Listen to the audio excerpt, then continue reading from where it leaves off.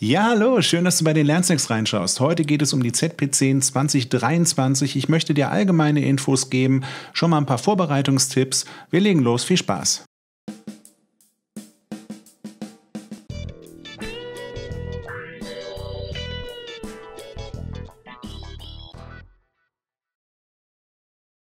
Du schreibst dieses Jahr die ZP10 und du weißt nicht, was dich erwartet.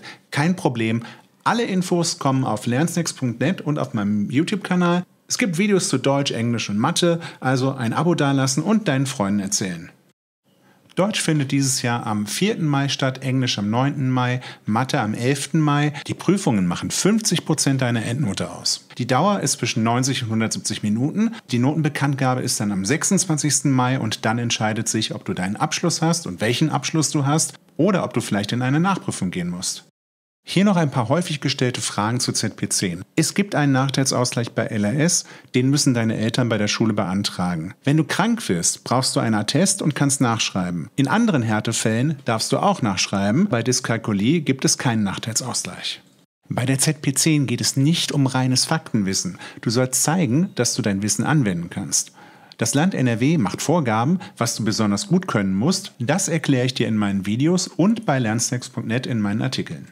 Die Lernsnacks gibt es schon seit 2016. Ich habe zigtausend Schülerinnen und Schülern geholfen bei der ZP10 und auch bei anderen Prüfungen mit Informationen, Tipps und auch Motivationshilfen. Ich weiß, die Situation ist neu für dich und du wirst nervös sein, ganz bestimmt. Ich kenne das und ich werde dir helfen. Versprochen.